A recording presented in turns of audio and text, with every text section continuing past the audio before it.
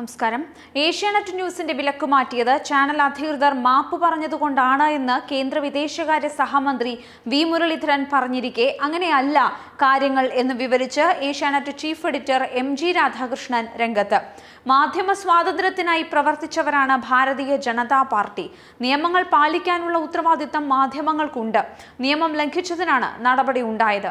ക്ഷമ ചോദിച്ചതിനാൽ സംപ്രേഷണം പുനരാരംഭിച്ചിട്ടുണ്ട് എന്നും മുരളീധരൻ പ്രതികരിച്ചിട്ടുണ്ടായിരുന്നു. അതേസമയം ഐ ആൻഡ് ടി മന്ത്രാലയത്തെ ചാനലിന്റെ നിലപാട് ബോധ്യപ്പെടുത്തിയതിനെ തുടർന്നാണ് വിലക്കു പിൻവലിച്ചത് എന്നാണ് എം ജി രാധാകൃഷ്ണൻ ഇപ്പോൾ വ്യക്തമാക്കിയിരിക്കുന്നത്. വിലക്കു നീക്കാൻ ചാനൽ മാപ്പ് പറഞ്ഞിട്ടില്ല. ചാനലിന്റെ നിലപാട് ബോധ്യപ്പെടുത്താൻ ഏഷ്യാനെറ്റ് മാനേജ്മെന്റ് രാത്രി തന്നെ മന്ത്രാലയവുമായി ബന്ധപ്പെട്ടു എന്ന് രാധാകൃഷ്ണൻ വാർത്താ ഏജൻസിയോട് പ്രതികരിച്ചു. അവർ അതിൽ വിജയിച്ചു എന്നാണ് കരുതുന്നത്. രാത്രി ആയതിനാൽ രേഖാമൂലം അപേക്ഷ നൽകാൻ കഴിയുമായിരുന്നില്ലെന്നാണ് അദ്ദേഹം പ്രതികരിച്ചത്. ബന്ധപ്പെട്ട ആളുകളോട് സംസാരിക്കുകയാണ് ഉണ്ടായത്. ചാനൽ ഇക്കാര്യത്തിൽ മാപ്പ് പറഞ്ഞിട്ടില്ല. കലാപ വാർത്തകളുടെ റിപ്പോർട്ടിംഗ് വസ്തുതാപരമായിരുന്നു എന്ന് രാധാകൃഷ്ണൻ പ്രതികരിച്ചു. വിലക്കു നീക്കാൻ കേന്ദ്ര സർക്കാരിനെ ആരുമായും ബന്ധപ്പെട്ടില്ല എന്ന് സി എൽ തോമസ് പ്രതികരിച്ചു. കേന്ദ്രം സ്വമേധയാ ആണ് വിലക്കു നീക്കിയത്. നിയമ നടപടിക്ക് നീക്കം നടത്തുന്നതിനിടെയാണ് വിലക്കു നീക്കിക്കൊണ്ടുള്ള അറിയിപ്പ് ലഭിച്ചത്. അതുകൊണ്ട് നടപടികൾ വേണ്ടെന്ന് വച്ചു.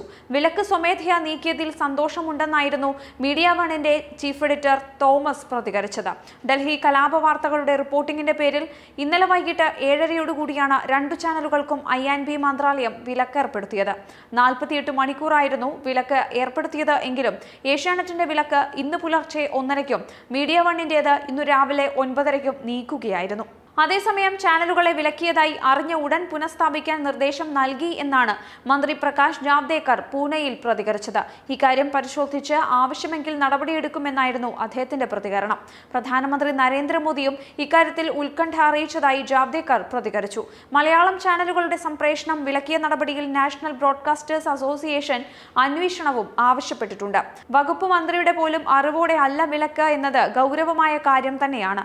മന്ത്രി തന്നെ അന്വേഷണം നടത്തണമെന്നും national broadcasters association president Rajat Sharma ആവശ്യപ്പെട്ടു. ആരാധനാലയങ്ങൾ തകർക്കുന്ന ദൃശ്യങ്ങൾ സംപ്രേഷണം ചെയ്തു. കലാപം ഏകപക്ഷീയമായി റിപ്പോർട്ട് ചെയ്തു. സംഘർഷ സാധ്യത നിൽക്കുന്ന സാഹചര്യത്തിൽ രാജ്യം മുഴുവൻ കലാപം പടർന്നു പിടിക്കാൻ സഹായിക്കുന്ന രീതിയിൽ റിപ്പോർട്ട് ചെയ്തു. തുടങ്ങിയ കുറ്റങ്ങൾക്കാണ് ഏഷ്യാനെറ്റ് ന്യൂസിനും മീഡിയ വണ്ണിനുമെതിരെ കേന്ദ്ര സർക്കാർ നടപടി സ്വീകരിച്ചിരിക്കുന്നത്.